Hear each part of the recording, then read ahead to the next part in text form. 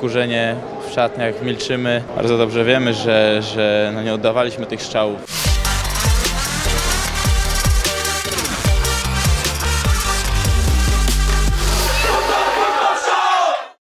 Chyba, czy potrafisz wytłumaczyć nam po prostu to, co się tutaj wydarzyło?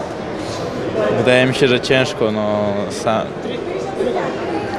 Sami jesteśmy smutni, sami jesteśmy źli na siebie. E, wiedzieliśmy o co gramy, niestety nam się to nie udało i teraz e, jest wkurzenie w szatniach, milczymy.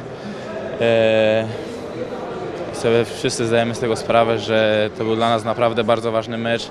Chcieliśmy, chcieliśmy go wygrać, ale no niestety wyszło jak wyszło. Nie udało się odpowiedzieć po prostu najpierw na pierwszego gola, a potem na drugiego? Bo wtedy uchodziło z Was powietrze i, i, z czego to wynikało? Nie wiem, nie potrafi. okej. Utrzymywaliśmy się przy piłce fajnie, a dochodziliśmy nawet do, do pola karnego. E, fajnie wyprowadzając akcję, ale zawsze czegoś nam zabrakło. Nie potrafiliśmy e, tego ostatniego podania dobrze wykonać i nie oddawaliśmy praktycznie strzałów na bramkę.